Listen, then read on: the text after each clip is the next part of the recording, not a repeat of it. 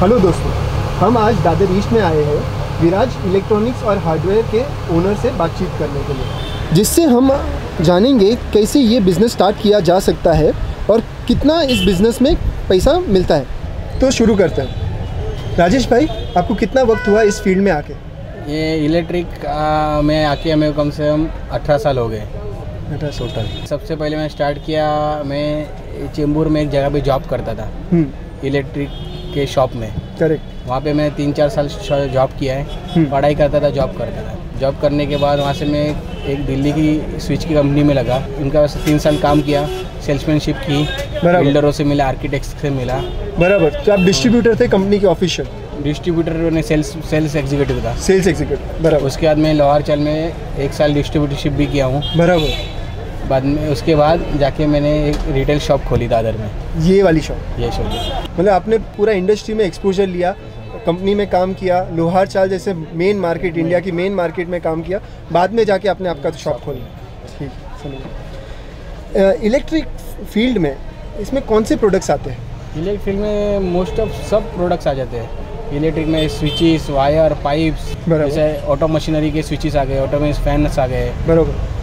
ये ज़्यादातर most of ज़्यादा करके फोकस तो स्विचेस और वायर पे ही रहता है। मेन मेन इलेक्ट्रिक फ़ील्ड अगर इलेक्ट्रिक शॉप खोल रहा है कोई तो स्विचेज एंड वायर्स रखना ज़रूरी है। ज़रूरी है। तो ये दो चीज़ से उनका दुकान स्टार्ट हो स्टार्ट हो जाता है। है ये शॉप शुरू करने के लिए कौन से लाइसेंसेज लगते हैं?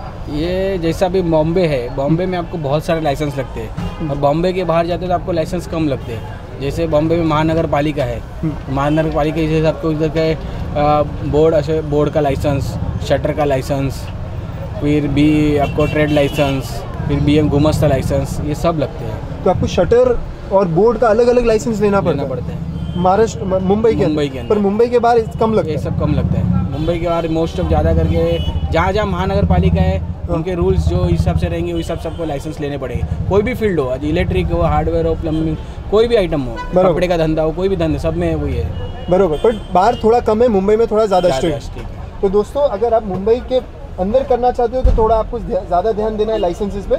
मुंबई के बाहर है तो आपके जो नगर पालिका है उस रूल्स के हिसाब से आपको फॉलो करना है। ठीक है? आगे बढ़ते हैं। ये लाइसेंसेस लेने में कितना खर्चा लगता है? और कितना वक्त लगता है अंदाज से?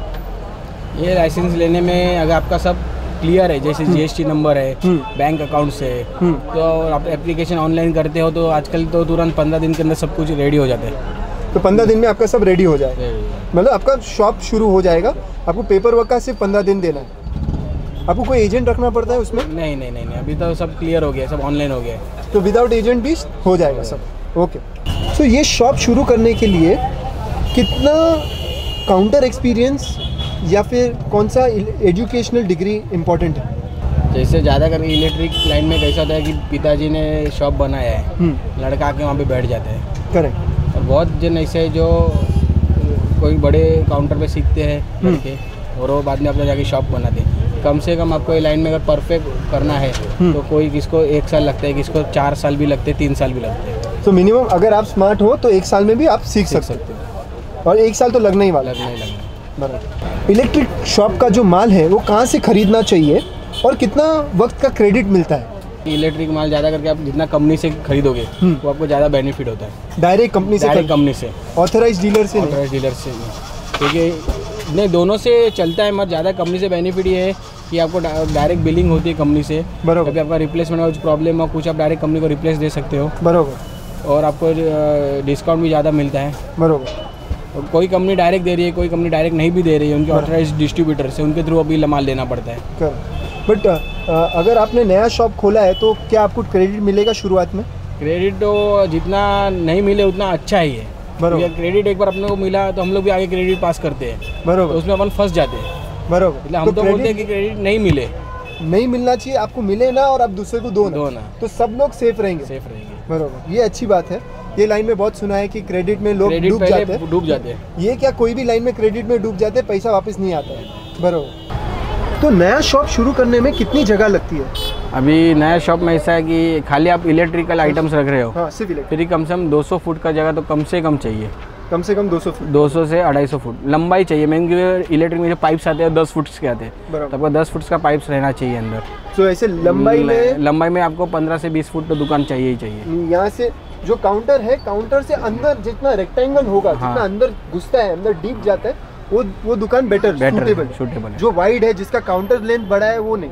काउंटर लेंथ भी बड़ा है वो भी अच्छा है क्योंकि वो आप डिस्प्ले डिस्प्ले ज़्यादा कर सकते हैं। हाँ तो वो भी बड़ा है। अभी समझे समझे। तो इसमें पर किसके पास अभी नहीं है डिस्प्ले तो उसको लंबा चाहिए। हाइट चाहिए। हाइट रहेगा तो माला बना सकते हैं हम। बराबर। वो कैसे भी पर मिनिमम पाइप पाइप अगर पाइप में ज़्यादा जाना है तो 10-15 फीट का पाइप आता है हाँ। उसके लिए आपको लंबाई कोई ना कोई साइड पे लंबाई चाहिए।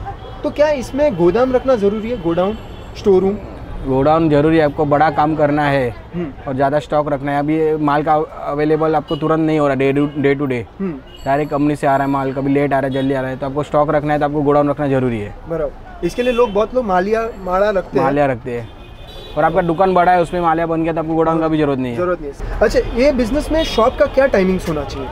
ये शॉप मोस्ट ऑफ़ आपका सुबह आठ से लेके रात को नौ बजे तक। ये आठ बजे से? ये रात को आठ से आठ। सुबह आठ से रात को आठ। बारह घंटा का तो ड्यूटी कम से कम है ही मिनिमम बट अगर किसी को ऐसा लगे कि नहीं मैं दस बजे दुकान खोलना चाहूँ तो क्या वो लाइन में आके सक्सेस हो सकता है? नहीं हो सकता है। आठ बजे आना ही है आना ही है नहीं। दुकान ही। क्योंकि कारीगर लोग जो भी इलेक्ट्रिशियन है कारीगर जिसको बोलते हैं हम लोग हम्म। ये फ़ील्ड में उन लोग सुबह आके मटेरियल लेके जाते हैं फिर दिन भर काम करते हैं। उनको अपन मटेरियल ही लेट देंगे तो बारह बजे काम स्टार्ट करेंगे तो आधा दिन का मजूरी तो उनका ऐसा ही चला गया। बरोबर। तो कुछ मतलब नहीं है। तो सुबह आठ बजे आना ही है। आना ही है।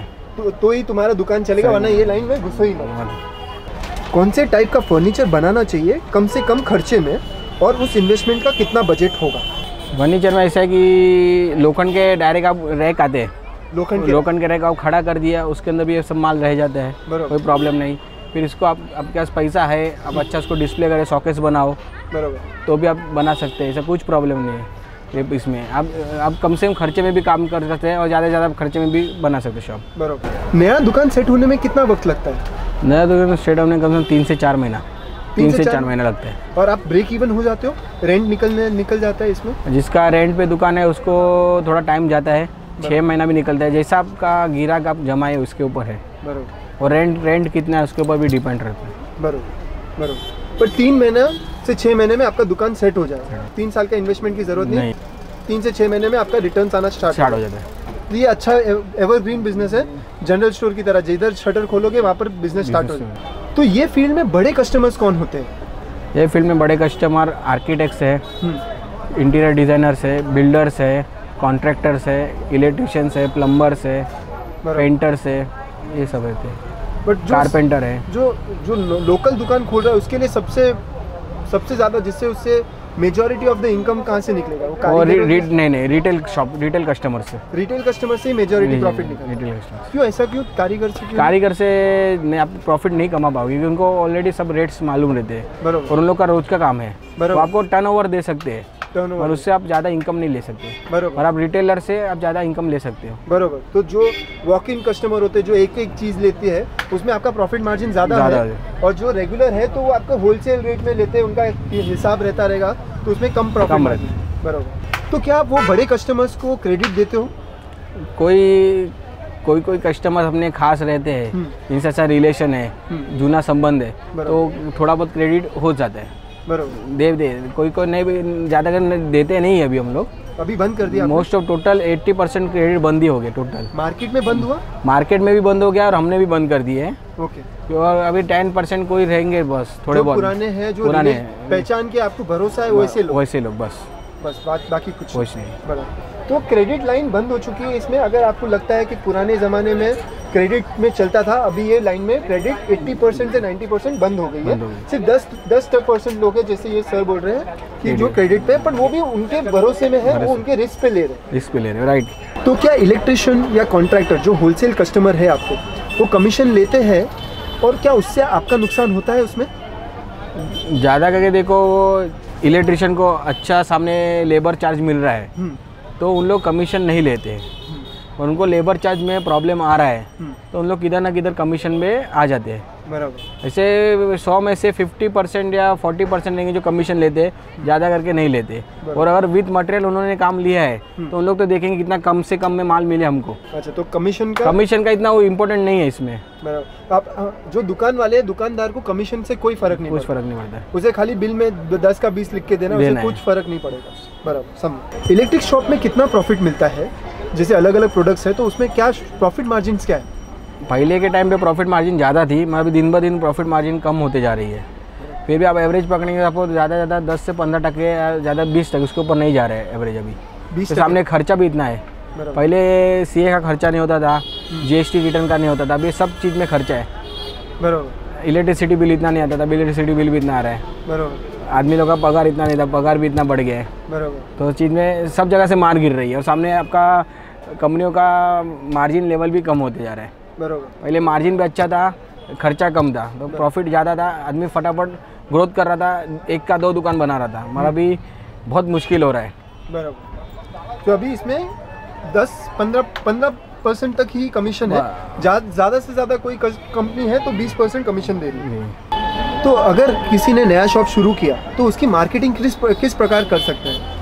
नया शॉप अभी किसी ने स्टार्ट किया तो जैसे स्विचेस कंपनी है कंपनी भी अपने तरफ़ से ज़्यादा से ज़्यादा एडवर्टाइजमेंट कर रही है। का इले, इले, लोकल एरिया के इलेक्ट्रिशियन का मीट करती है उनको गिफ्ट बांटती है स्कीम्स दे रही है।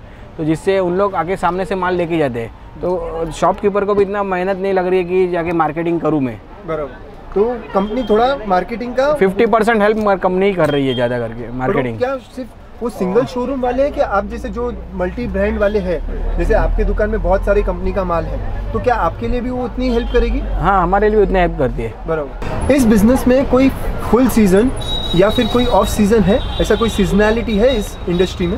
ये सीज़न में जैसा बारिश का टाइम है हम्म, वो थोड़ा ऑफ़ सीज़न जैसे ही रहता है। ये टाइम पे ज़्यादा करके बिल्डर्स लोग काम बंद रहता है उनका। हम्म, अभी समर रहा हाँ। तो समर में ज़्यादा पंखे आपके बिक- बिकते हैं। बराबर।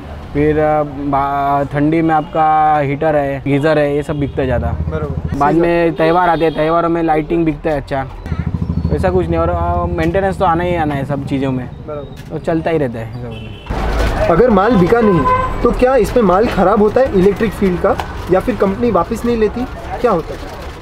Most of eight ninety percent material तो कुछ ख़राब होता नहीं है। बराबर। एक साल पड़ा रहे या दस साल पड़ा रहे कुछ फ़र्क नहीं पड़ता है। पढ़ा पड़े रहे। पड़े रहे। और हाँ बिकने के बाद कुछ ख़राब भी आया मटेरियल हाँ। तो कंपनी का रिप्लेसमेंट पॉलिसी रहता है कंपनी का आप रिप्लेस कर सकते हैं। कर सकते हैं मतलब इसमें आपको नुकसान नहीं है। बराबर। बट कंपनी रिप्लेसमेंट करेगी और आपको नया प्रोडक्ट दे देगी और आप हाँ, कस्टमर को दे दोगे। हाँ जैसे फै, फ़ैन और ये सब है हम्म। तो इसमें कस्टमर को कंपनी रिपेयर करके देती है उससे कस्टमर घर पे जाके रिपेयरिंग करते हैं। बराबर। हम लोग कंप्लेंट डाल देते हैं। हम्म, मगर जैसे स्विचेस और ये है इसमें भी मोस्ट ऑफ़ ज़्यादा करके कंपनी का सब ऐसा ही हो गया है कि आप कस्टमर को कस्टमर केयर नंबर दे दो कंपनी का आदमी बंदा जाके उधर रिपेयरिंग करके आ जाएगा। बराबर। पहले कैसा था स्विचेस आते थे यहाँ पे हमको बदली करके देना था हमका स्टॉक रखना पड़ता था। रिप्लेसमेंट एक साथ बाद में कंपनी आके उठाती थी उसमें बहुत हम्म, झमेला झमेला होता था। अभी वो सब वो सब नहीं है। अच्छा तो अभी वो स्विचेस में क्या चल रहा है इलेक्ट्रिक स्विचेस में? स्विचेस में ज़्यादा करके कंपनियाँ वही कॉल सबका सब मोस्ट ऑफ़ यही हो गया कि आप कस्टमर को बोलो डायरेक्ट कंपनी में फ़ोन कीजिए। कॉल सेंटर पे फ़ोन कर दो वहाँ कंपनी का बंदा आएगा आपको करके छोटी से छोटी स्विच के लिए भी कंपनी का कंपनी का बंदा आता है। है। तो आपका कोई टेंशन नहीं है आपको खाली नंबर और और कोई कोई कंपनी ऐसी भी है जो हम लोग काउंटर पे भी रिप्लेस करके देते हैं तो कंपनी हमको रिप्लेस करके देती है। वापिस। वो अच्छा था। कस्टमर को भी हेडेक नहीं था। बरोबर। हमारी जो बड़ी बड़ी कंपनियों ने किया है ना उसके कस्टमर को भी हेडेक हो गया है दुकान को भी हेडेक हो गया है। बरोबर। सो क्योंकि कंपनी कंपनी वाले आज उनको इमरजेंसी समझो गीजर का बटन गया है। हाँ। तो कंपनी वाले दो दिन के बाद आएँगे। तब दो दिन तक वो लटकते रहेगा। और दो, दो, दो दिन तक क्या करें? तो दोस्तों ऐसी कंपनी का माल रखो जो आपको काउंटर पे रिप्लेसमेंट का ऑफ़र दे। तो क्या आपके कस्टमर भी आपके पास टिके रहेंगे और आपके कस्टमर्स भी आपकी कस्ट, आपकी कस्टमर सर्विस को वैल्यू करेंगे? ओके आगे बढ़ते हैं। अगर किसी दुकान का रेंट बीस हज़ार रुपये हो और उनके पास एक हेल्पर काम पे है तो उस दुकान को प्रॉफिट में आने के लिए कितने रुप- रुपीस की सेल कितने रुपए की सेल होनी ज़रूरी है दिन में या फिर मंथ? डेली क्या सेल होनी चाहिए? बीस बीस हज़ार रुपया उसका रेंट है। हाँ। दस हज़ार रुपये पगार है। हाँ। थर्टी थाउज़ेंड ये हो गया। हाँ। प्लस आपका सी ए खर्चा लाइट बिल का खर्चा हाँ। वो एक्स्ट्रा दस थाउज़ेंड पकड़ लो। हम्म। मतलब हो गया फोर्टी फोर्टी फोर्टी प्लस आपका घर का तीस हज़ार रुपया खर्चा पकड़ लो आज की तारीख में। हाँ। Forty seventy seventy. Seventy thousand के लिए आपको रोज़ का आपको दस हज़ार का कम से कम नहीं सॉरी सेवेंटी के लिए आपको हो गया रोज़ का दो हज़ार। दो हज़ार रुपया रोज़ का आपको प्रॉफ नेट प्रॉफिट चाहिए। दो हज़ार रुपए का नेट प्रॉफिट नेट प्रॉफिट तो का। नेट प्रॉफिट करवाने के लिए आपको कितने हज़ार कितने हज़ार का सेल होना चाहिए? दस दस से बारह हज़ार का सेल होना चाहिए। सिर्फ़ इलेक्ट्रिक लाइन में। अगर सिर्फ़ इलेक्ट्रिक लाइन का इलेक्ट्रिक लाइन में जाएँगे ना तो थोड़ा सेल कम रहेगा तो भी चलता है। हाँ। वो मार्जिन कवर हो जाता है। आठ हज़ार सात हज़ार में भी हो जाता है। तो सात आठ इलेक्ट्रिक का लाइन में आप आते हो तो सात आठ हज़ार में आपका घर चलेगा।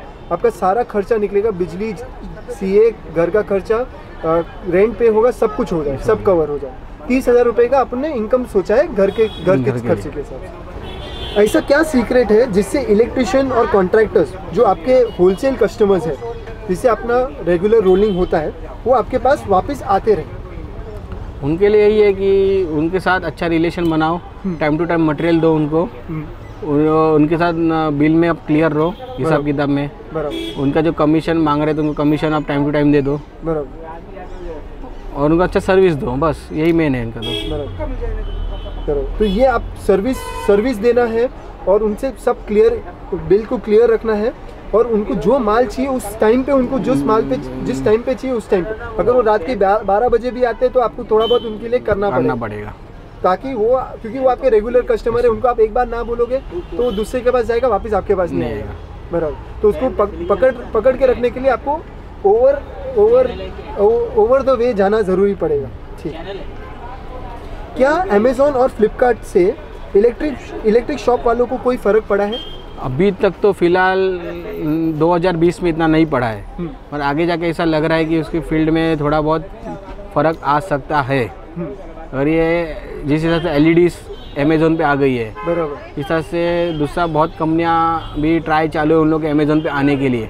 जो मैन्युफैक्चरर है मैन्युफैक्चरर है। वो खुद ही आना चाहते खुद ही आना चाहते हैं। मतलब एल आ गया है फैंस वाले आ गए हैं हैं फिर लाइटिंग वाले आ गए हैं अभी स्विचेस स्विचेस वाले आ गए। हैं हम्म, तो उसके हिसाब से उतना काउंटर पे भी उनको फ़र्क पड़ रहा है क्योंकि उधर अमेज़ोन में रेट अलग आ रहा है काउंटर पर रेट अलग है। कंपनी हमको अलग रेट दे रही है अमेज़ोन को अलग रेट दे रही है। बरोबर। इसमें हमारा आगे जाके प्रॉब्लम तो सेल कंपनी को ही प्रॉब्लम है बड़ा तो ये जो अमेज़ोन में माल बिकता है वो काउंटर वाले नहीं बेचेंगे। बराबर वो ऑफलाइन चले जाएँगे। वो सिर्फ़ वो सिर्फ़ वही ब्रांड को बेचेंगे जो ऑफलाइन है जो ऑनलाइन हाँ, है। ऑनलाइन तो आप भी ध्यान रखिए जो आप दुकान शुरू कर रहे हो तो ऐसी कंपनी का माल ना ले जिससे जो अमेजोन पे मिलता है। तो तो क्या होगा कोई बंदा अमेजोन पे जाएगा और चेक करेगा बोलेगा यार तुम तो मेरे को सौ रुपये में दे रहे हो अमेजोन पे तो अस्सी रुपये में बिक रहा है। और वो आपका नाक कट करके चला जाएगा हम्म। आपका बिज़नेस का वैल्यू भी जाएगा आपका सेल्फ रिस्पेक्ट भी जाएगा तो आप ऑफलाइन ब्रांड्स वाले को ही आप रखिए। प्लस आगे जाके ऑनलाइन वाले सर्विस नहीं दे पाएँगे। बराबर। आज दो साल का जिनका खराब हुआ वो बंदा तभी उसका नहीं बंदा। उसको। उसका रिफंड चला जाएगा उसका जाएगा। पीरियड रहता है तीस दिन और रिफंड इलेक्ट्रिक लाइन में आगे आगे रिप्लेस आना ही आना है। हाँ। तो उसमें वो मार खाएँगे। मार खाएँगे। राजेश भाई हमें बहुत अच्छा लगा आपसे मिलके, और आपने आपका कीमती वक्त दिया हमारे इस वीडियो में इंफॉर्मेशन शेयर करने के लिए, इसीलिए तय दिल से शुक्रिया। दोस्तों, आपको ये वीडियो पसंद आई है, या आपको ये वीडियो में कोई अच्छी इन्फॉर्मेशन मिली है तो प्लीज़ इस वीडियो को व्हाट्सएप के माध्यम से फॉरवर्ड करें। जो कोई नया बिज़नेस शुरू करना चाहता है, उस तक ये वीडियो ज़रूर पहुँचाएँगे थैंक यू